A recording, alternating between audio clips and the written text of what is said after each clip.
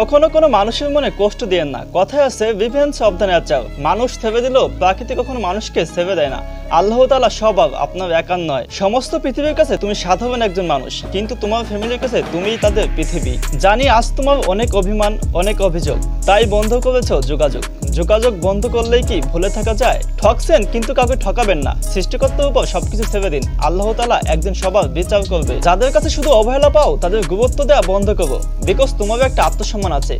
কি প্রয়োজন? নিজের আত্মসম্মানকে অন্যের কাছে বিলিয়ে দেওয়া? ঠকে যাওয়া মানুষগুলো আস্তে আস্তে সবার কাছ থেকে নিজেকে গুটিয়ে নেয়। বিকজ তারা দ্বিতীয়বার কাউকে বিশ্বাস করতে চায় না। পরিবর্তন ছাড়া উন্নত সম্ভব নয়। যেসব ব্যক্তি নিজের মনকে পাল্টাতে পাবে না, সেসব ব্যক্তি কোনো কিছুই বদলাতে পাবে না। জীবনে যে পরিমাণ ভালোবাসা পেয়েছি, তা দিয়ে কয়েক বছর বেঁচে থাকা যায়।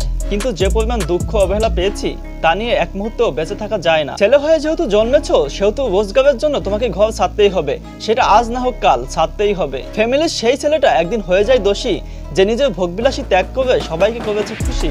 কিছু মানুষ তোমাকে ভালোবাসবে, কিছু মানুষ ভালো না বেশেও ভালোবাসে অভিনয় করবে। কিছু মানুষ তোমাকে ভুল বুঝবে, কিছু মানুষ তোমার সঙ্গে থেকেও তোমার ক্ষতি করবে। হ্যাঁ এসব পরিস্থিতি মেনে নিয়েই তোমাকে জীবনে এগিয়ে যেতে হবে। আমি যতবার ভেঙে পড়েছি, এতবার যদি তুমি ভেঙে পড়তে, তাহলে তুমি বুঝতে, কোনো মানুষ ভেঙে যাওয়ার পর আগের অবস্থান আসা কতটা অসম্ভব।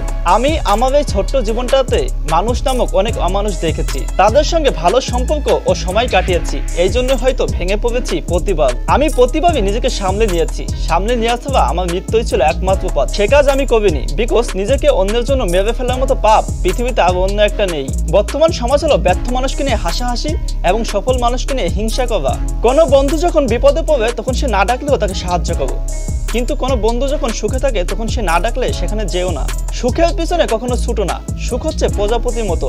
ধরতে গেলে ধবা দেয় না এবং চুপ হয়ে থাকলে আপনা আপনি গায়ে এসে লাগে। সুখে থাকা জীবনের বড় সার্থকতা নয়, অন্যকে সুখে রাখা হচ্ছে জীবনের সবচেয়ে বড় সার্থকতা। ইতিহাস সাক্ষী আছে, টাকার অভাবে অনেকেই লেখাপড়া ছেপে দিয়েছে, কিন্তু টাকার অভাবে আজ পর্যন্ত কেউ মদ, গাঁজা, সিগারেট এগুলো ছাড়তে পারেনি। কিছু কিছু মানুষ আছে যাদের আপনি যতদিন দিতে পারবেন, ঠিক ততদিন আপনি ভালো। এবং যখন থেকে দিতে পারবেন না, তখন থেকে আপনি খারাপ মায়ের একটি কষ্টের নিঃশ্বাস ষাটটি জাহান্নামের চাইতেও ভয়ঙ্কর। এবং মায়ের একটি সুখে হাসি আটটি ভেস্তের সমান। কাউকে এতটা ভালোবাসো না যে মানুষটা তোমাকে ছেড়ে চলে গেলে তুমি নিঃস্ব হয়ে যাও, তুমি অসহায় হয়ে যাও। বরং ভালোবাসা হোক গিভ অ্যান্ড টেক পলিসি তুমি যতটুকু দেবে, ততটুকুই পাবে। এর চাইতে বেশি দিলে তুমি কষ্ট ব্যতীত আর কিছুই পাবে না। একজন মেয়ে কখনো পুরুষের ভালো আচরণ দেখে প্রেমে পড়বে না। সে ছেলেদের অভিনয় দেখে প্রেমে পড়বে। আগলে রাখতে শিখো। কিছু কিছু মানুষ জীবন থেকে একবার চলে গেলে আর ফিরে আসে না।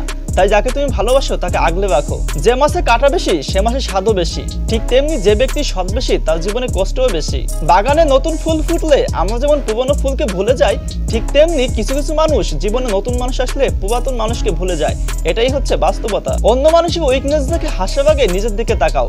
তোমার নিজেরও কিছু উইকনেস রয়েছে। এই পৃথিবীতে কেউই নিখুঁত নয়। ব্যস্ততার মাঝে যেটা হারিয়ে যায় সেটা হচ্ছে সময়। ক্লান্ত হয়ে যেটা হারিয়ে যায় সেটা হচ্ছে শক্তি।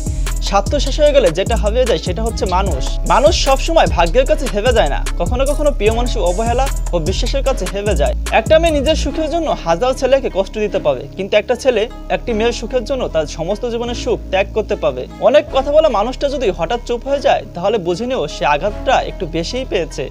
সুখে থাকা জীবনের বড় সার্থকতা নয় অন্যকে সুখে রাখা হচ্ছে জীবনের সবচেয়ে বড় সার্থকতা। যে মাসে কাটা বেশি, সে মাসে স্বাদও বেশি। ঠিক তেমনি যে ব্যক্তি সৎ বেশি, তার জীবনে কষ্টও বেশি। যে তোমাকে হিংসা করবে, তাকে করতে দাও।